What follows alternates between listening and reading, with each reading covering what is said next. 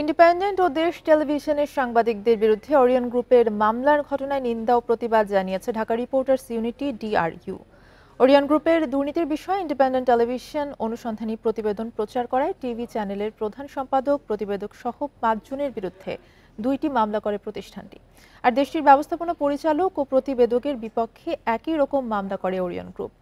মামলার মাধ্যমে গণমাধ্যমের কণ্ঠরোধের চেষ্টা হচ্ছে অভিযোগ করে ডিআরইউ নেতৃবৃন্দ বলেন, সাংবাদিকরা কারও প্রতিপক্ষ নয়। অনিয়ম দুর্নীতির চিত্র তুলে ধরাই তাদের কাজ।